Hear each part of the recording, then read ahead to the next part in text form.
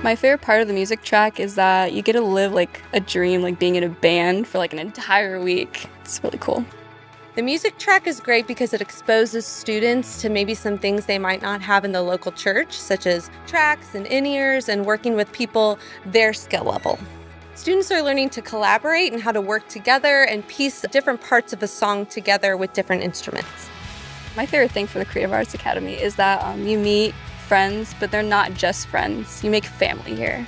My favorite thing about Creative Arts Academy is that we can empower students from around the country to come and learn what it's like to participate in music in the church and develop their gifts further.